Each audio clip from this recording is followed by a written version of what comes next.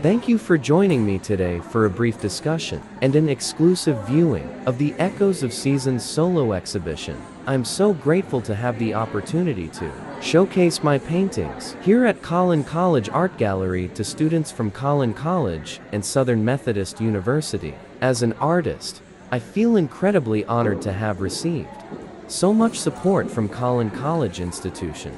The students here today are some of the most talented and dedicated individuals I have ever met, and their enthusiasm and interest in my work were truly inspiring. This exhibition culminates my endeavor to harmoniously blend abstraction and figuration, developing a captivating union where neither element overshadows the other.